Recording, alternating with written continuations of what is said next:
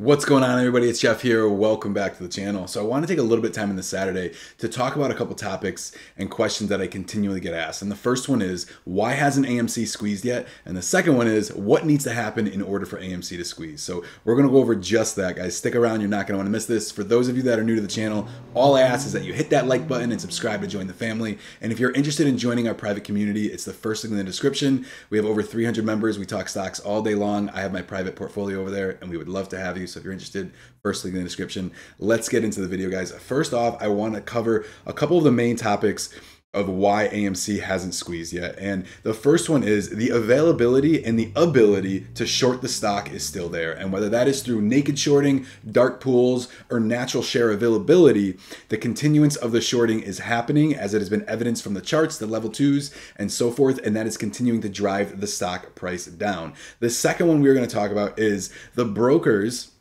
have not called yet on the hedge funds to cover their short positions, also known as margin call. And if it has, it's only been a very, very small percentage.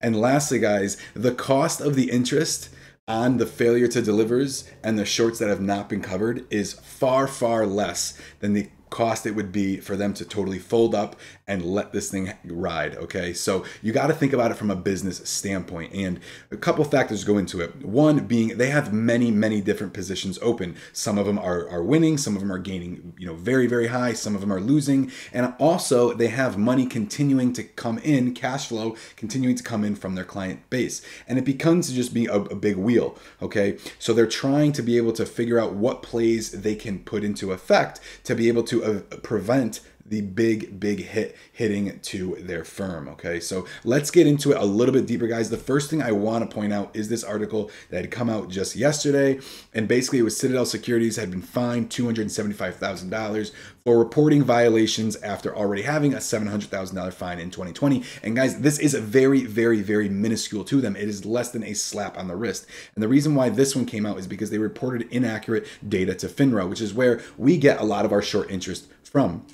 The reason they do this is because they have more to lose on the actual financial side than they do from the potential of getting fined. Now, just because they got fined means they got caught. It doesn't mean that they don't always do this. It's just like you getting caught. It's the same thing as you speeding. We probably all speed every single day. We don't get speeding tickets every single day. So they do this to be able to salvage another piece of their puzzle and another part of their business that is definitely a bigger risk for them to losing. That's why they continue to do this. Okay, so that's the first reason. Okay, the second reason is the fact that they have not been yet margin called. All right, and I want to break it down a little bit further to of exactly what that means. In regard to margin in general, hedge funds they're no different than us. If their holdings drop below the minimum margin requirement, Reg T is 30% for shorts, but some brokers have raised it. They get a margin call.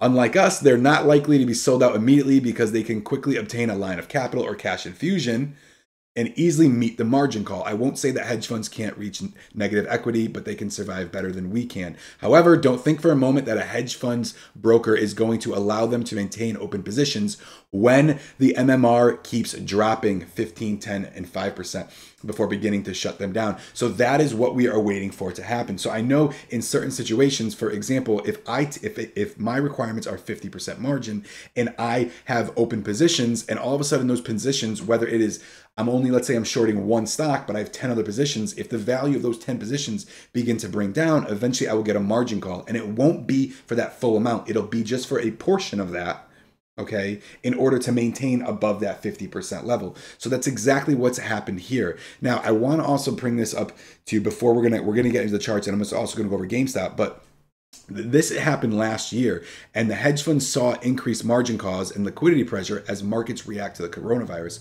So, as the market began to turn upside down a little bit, there was a lot of fear in the market. Okay, panicking, the economy was going to be get shutting down, and these brokers had said, "Oh, wait a minute, like we can't afford to take those huge heavy losses," and therefore the margin requirement were increased. So, this also is a possibility of what could happen. Okay, if in order to raise that requirement for the hedge funds to cover. But most importantly, I don't believe that this is going to happen to the extent it did because, like I said, that was crazy. We never saw that before. The economy literally shut down.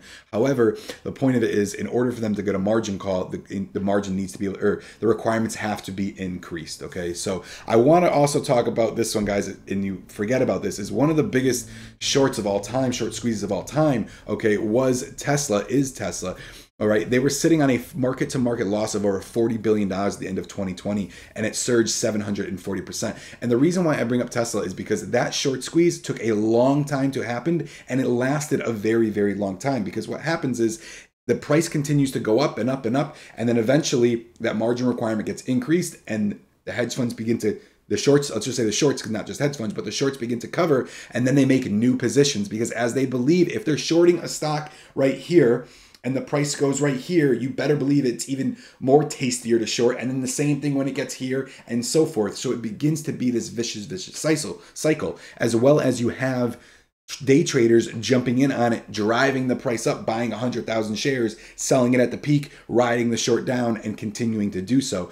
That's what you've got begin to see with GameStop. So let's take a look at the charts all right, and I'm also going to go over GameStop right here. So this is the 180 day four hour chart. When you zoom in to just before that last peak that happened, you can see the price went up from $11.95, $12 all the way up to a high right here of $20 and change. Continued down a little bit. This did not call as much as the shorts were continuing to be even more out of the money and they had to cover more positions. There was no margin call because the price hadn't gotten up that high. It continued for a little bit. Price actually came up, more buyers getting into it, more people were aware of what was happening. This is getting into the start of the year.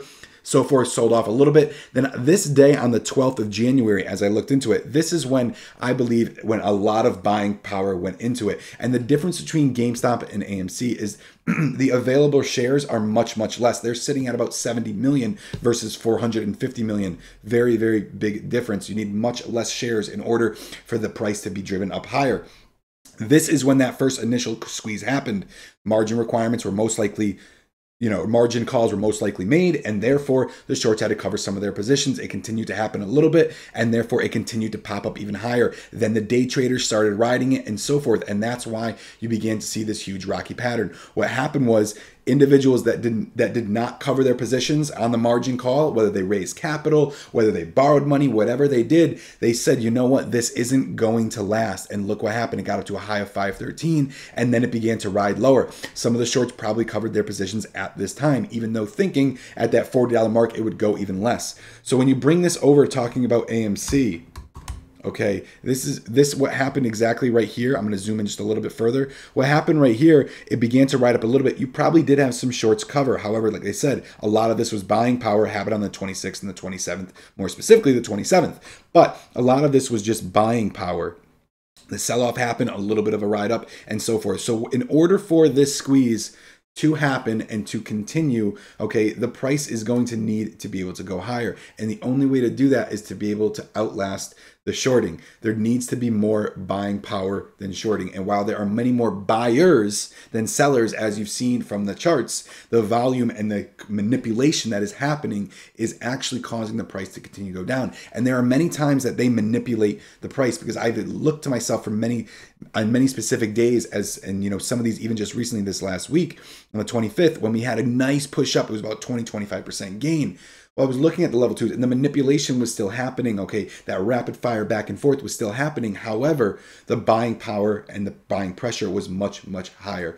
So, inevitably, guys, that is why AMC, I hope I didn't explain it too quickly, but that is why AMC hasn't squeezed yet, is because they have not been called on yet to really be able to cover all of those shares. Okay. And lastly, the price is going to need to be able to be risen or the requirement in order to be risen as well. Okay. But this could take a very long time. As you saw with Tesla, it was a much choppy road, which is why Tesla is an insanely volatile stock. Okay, so it's not something that's going to happen in a day or two. Lastly, the Volkswagen squeeze happened in four days. That is a little bit different. Okay, but this could take a much, much longer time. So don't be thinking that it's over just because it hasn't squeezed yet, all right? And don't be looking for a specific date for it to squeeze if it is going to squeeze. But inevitably, it's going to take more time. And we know that the margin requirement needs to be made and that price needs to continue to drive higher in order for it to squeeze. All right. So, guys, that's it for this video. I hope this gave you a little bit of understanding and explanation of why it hasn't squeezed yet and what needs to happen in order for it to squeeze. So, that's it for this one. I'll see you in the next one.